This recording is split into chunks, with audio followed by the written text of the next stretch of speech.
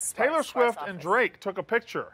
Yeah. Yes, they did. Two famous Yes, people. They did, and we're on. We're. It's a little unclear as to uh, whether or not that picture is old or new. It does look like an older picture. That's I just really standard hair with bangs. Yeah, well, right, but she doesn't always have bangs like that. It's, That it's was like your hair if you gave a shit about your appearance. If I cared Yeah. and Yeah. tried. Uh, the big rumors on the street is that in a couple of weeks. I was talking talk about Taylor Swift on the street. Yeah, no, no, no. My street. They're talking about it. Okay. In Chelsea.